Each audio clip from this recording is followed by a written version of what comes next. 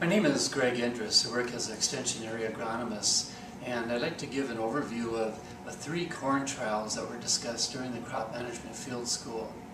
And the three trials include a, a in-furrow application of, of uh, fertilizer and a growth promoter.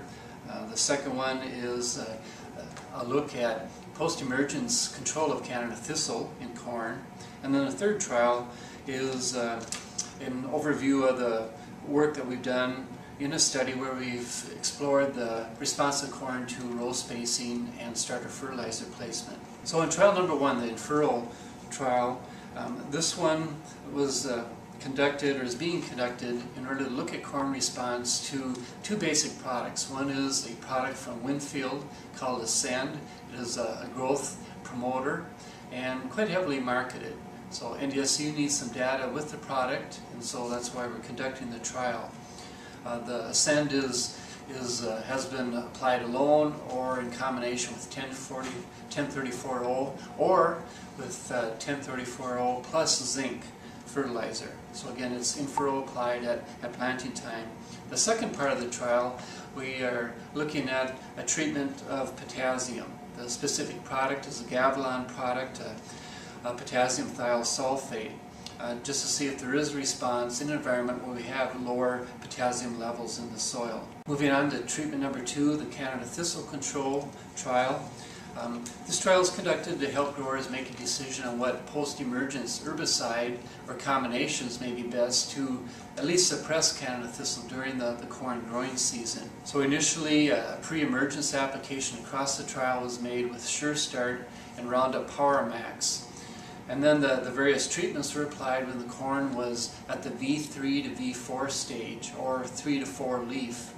And the Canada thistle at the time of treatment was at a height of anywhere from 2 to uh, 12 inches in height.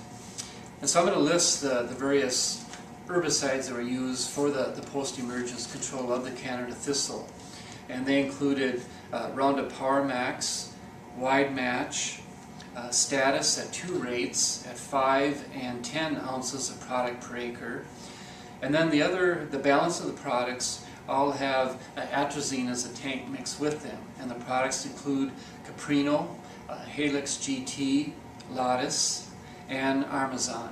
The effectiveness of the herbicides are being evaluated at 2, 4, 8, 12, weeks after treatment, and then maybe even uh, later on in the season, depending on the, the amount of control that's present um, during the, the, early fall.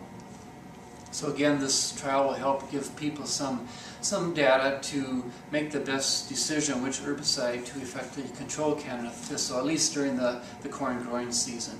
And then the third trial I'd like to mention is uh, an ongoing study that we've looked at uh, tillage systems, which included conventional till, strip till, and then direct seeded.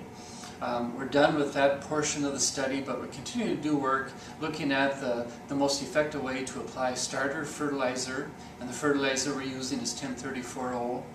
And then also, we're looking at row spacing.